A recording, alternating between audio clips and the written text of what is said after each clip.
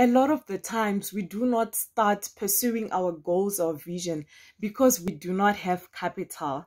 But I've come with some good news to say that start with knowledge. Start with knowledge. Invest in your skill set. Make use of YouTube.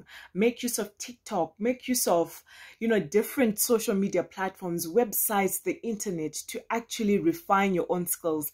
There are so many free online courses if you really search that can help you to improve your skill set over time you're then able to capitalize on that skill set to sell your product or your services. And in turn you can then be able to invest into getting quality proper education and maybe certification at a later stage. So always start with knowledge. You do not need to have capital. You need a functional brain to be able to fully tap into your skill set and to be able to then come up with capital that enables you to win and fully establish your business.